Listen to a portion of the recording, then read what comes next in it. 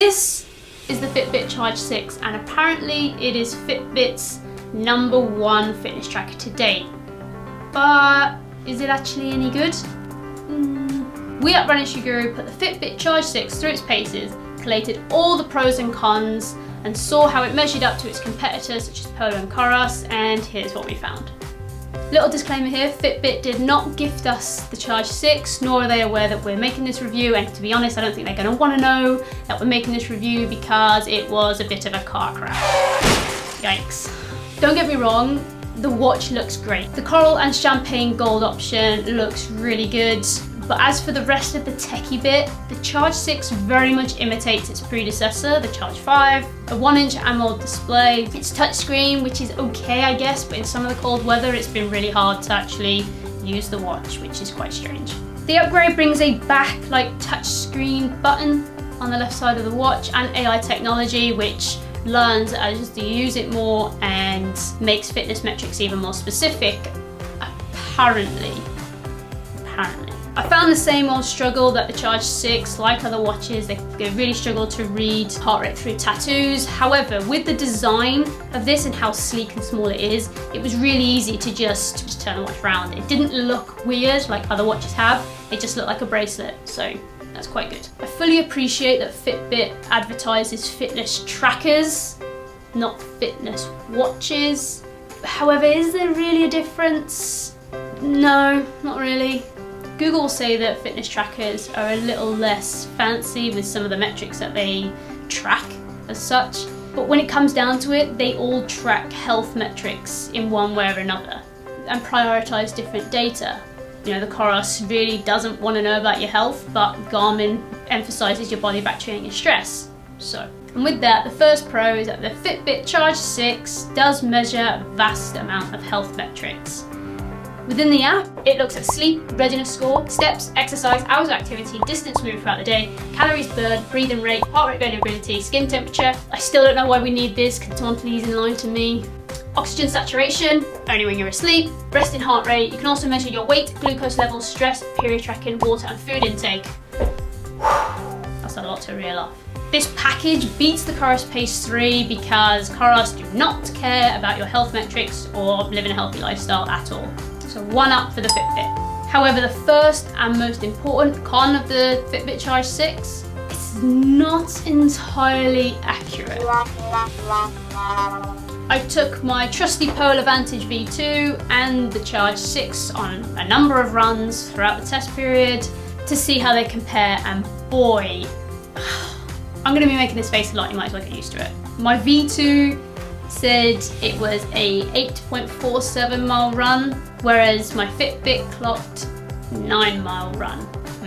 Post run on the app, the map that I got of my run was quite interesting. Both watches have internal GPS and GLONASS system. I Don't know if I've said that right, but the maps were wildly different. According to the Fitbit, I teleported a couple times. And you know, that's weird. Maybe I just run that fast.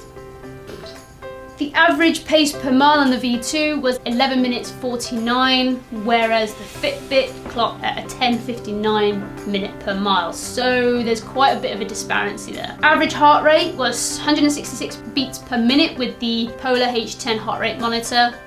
So against gold standard, whereas the Fitbit registered a 171 beats per minute. It's not too bad, but it's enough to be in the wrong zone. And as we talk about zones, here comes another con.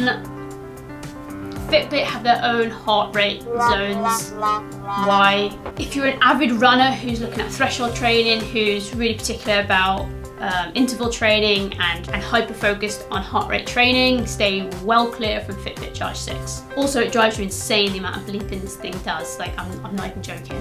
It's, it's ridiculous. Anyone else in the health and fitness world use five zones, Fitbit are choosing to use three zones. Three zones, why using three zones? Fat burning zone, zone one, two is cardio zone, and zone three is peak zone. All worked on a percentage of your heart rate max, which is what five zones do. So what they're essentially doing is merging zone two and three together and four and five together. I guess it makes it more beginner friendly, but it does make the use of third party training apps or training plans really difficult because, I mean, Fitbit don't offer running plans for, for number one. So if you wanted to do a couch to 5K, you would have to get a third party app to do that. But if the third party app said interval training in zones two and three, you're not gonna know what that is on a Fitbit and it won't be able to take you through it anyway. It kind of cuts you off from more specific training. Does that make sense? If it ain't broke, don't fix it. Don't reinvent the wheel. Just why?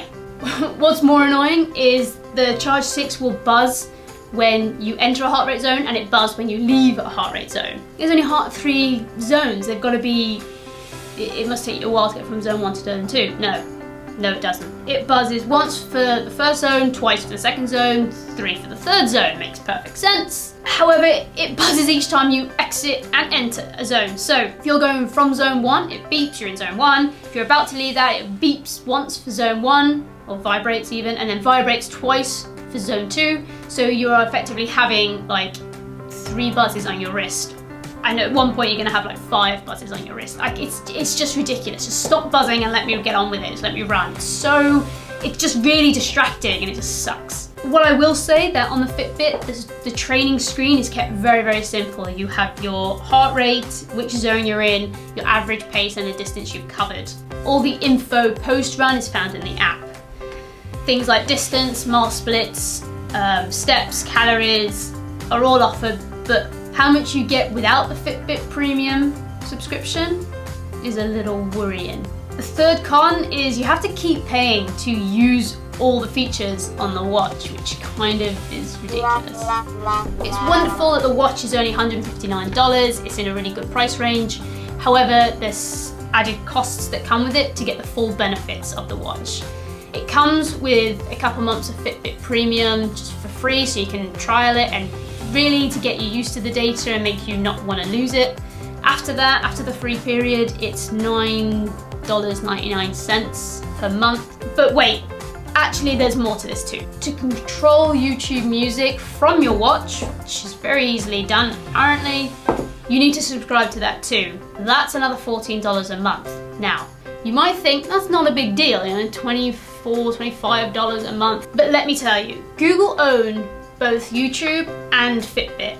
So it's no surprise they want to push you from one platform, the Fitbit, to YouTube Music. But they're asking for subscriptions for both and you cannot use the music feature without that subscription, which you don't get a free trial in, by the way. Maybe it's the stubborn Englishness in me, but I proper got the hump with that. Just keep in mind that the majority of the watch kind of comes obsolete if you don't keep paying for your subscriptions.